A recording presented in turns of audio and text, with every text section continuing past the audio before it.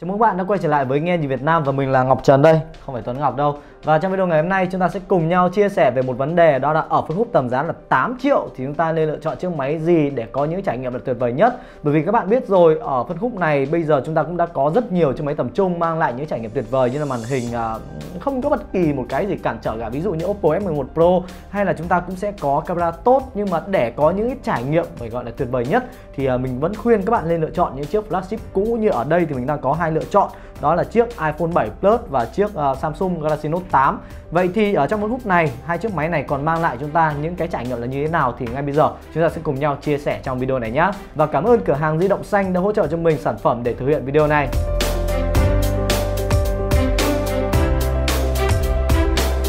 Đầu tiên ở đây thì ờ, chúng ta sẽ có chiếc iPhone 7 Plus. Đây là chiếc máy đã ra mắt được gần 3 năm, Nhưng mà đến thời điểm hiện tại, cái hiệu năng của nó thì vẫn không ai có thể chê trách được bất kỳ một vấn đề gì cả. Chúng ta sẽ có chip Apple A10 Fusion. Chúng ta có 3GB và chúng ta sẽ có 32GB bộ nhớ trong cho cái phiên bản tiêu chuẩn nhất. Và nếu như các bạn cần bộ nhớ trong nhiều hơn thì cũng có thể lựa chọn cái phiên bản ờ, 64GB ờ, để có thể là có một cái dung lượng lưu trữ là lớn hơn. Bởi vì các bạn biết rồi, những chiếc Apple iPhone sẽ không hỗ trợ cho các bạn những cái kiểu, tính năng gắn được thẻ nhớ ngoài mở rộng. Còn nếu như mà gắn được thẻ nhớ ngoài mở rộng thì các bạn đã có một chiếc iPhone chạy được CH Play ở đấy.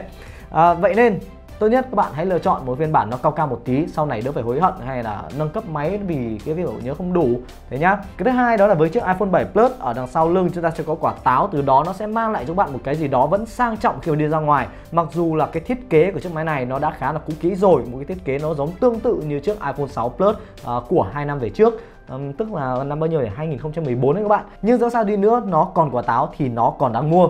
À, có một cái điểm nữa đó là trên cái chiếc iPhone 7 Plus này thì chúng ta cũng sẽ có những cái trải nghiệm về chụp hình xóa phông. Bởi vì đây là chiếc máy mở ra cái trào lưu camera kép chụp hình xóa phông ở phía đằng sau mặt lưng.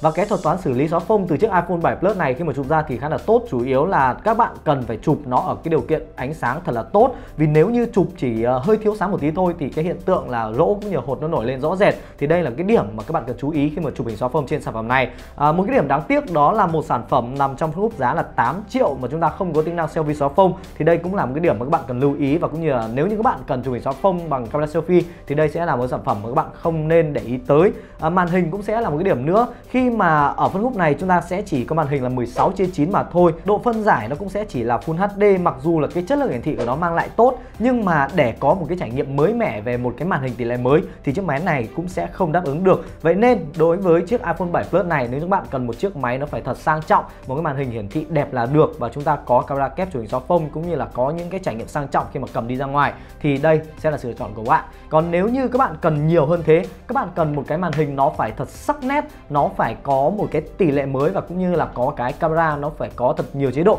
thì mình sẽ có một chiếc máy nữa, đó là chiếc Samsung Galaxy Note 8 đến từ thị trường Mỹ. Tại sao nó lại là máy đến từ thị trường Mỹ? Bởi vì đây sẽ là chiếc Note 8 rẻ nhất để cho các bạn có thể lựa chọn.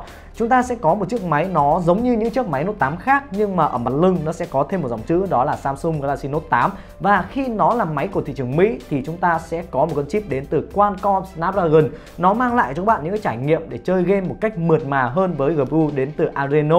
Cái thứ hai đó là trên Samsung Galaxy Note 8 này, nó cũng sẽ có những ưu điểm nhỉnh hơn so với chiếc iPhone 7 Plus, bởi vì nó sẽ có màn hình tỷ lệ mới 18.5 Infinity Display. Và các bạn biết rồi, một chiếc flagship đến từ từ nhà Samsung ở năm 2018 thì tất nhiên chúng ta cũng sẽ có một cái màn hình cong ở đây mang lại cho các bạn những cái trải nghiệm khi mà vút là cực kỳ đã. Và cũng như nó cũng sẽ tạo ra những hiệu ứng như kiểu là sóng sóng sóng sóng một tí khi mà các bạn lướt ở đây. Đó, nó sẽ đổ đổ đổ xuống rất là đẹp. Và về cái trải nghiệm hiển thị trên cái màn hình của Samsung Galaxy Note 8 thì có lẽ là mình cũng không cần phải ờ, nói quá nhiều rồi. Màn hình đẹp, màu sắc lên ổn và cũng như tương phản tốt, chúng ta có độ nổ khối cao.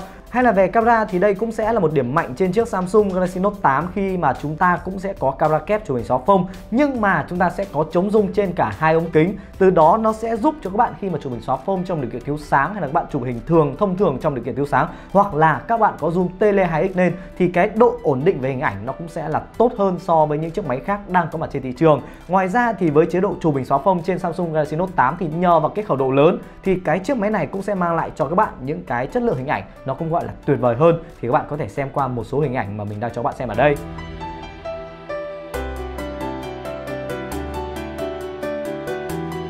vẫn lại thì với cái phân khúc giá là 8 triệu này thì mình vẫn khuyên các bạn nên lựa chọn những chiếc máy flagship cũ ví dụ như là iPhone 7 Plus hay là chiếc Samsung Galaxy Note 8 đến từ thị trường Mỹ mà mình vừa mới đưa ra ở đây. Uhm, quá ngon, sang trọng và cũng như là chúng ta có những trải nghiệm tuyệt vời. Vậy thì nếu là các bạn, các bạn sẽ lựa chọn chiếc máy tầm trung mới hay là lựa chọn những chiếc flagship cũ xin mời comment để lại cái sự lựa chọn của các bạn ở phía bên dưới phần bình luận của video. Video của mình thì tạm dừng lại tại đây. Các bạn cảm thấy thích đừng quên để lại một like, share và bấm vào subscribe kênh YouTube của tạp chí nghe nhịp Việt Nam. Xin chào và hẹn gặp lại bạn trong những video lần sau. Mình là Ngọc Trần.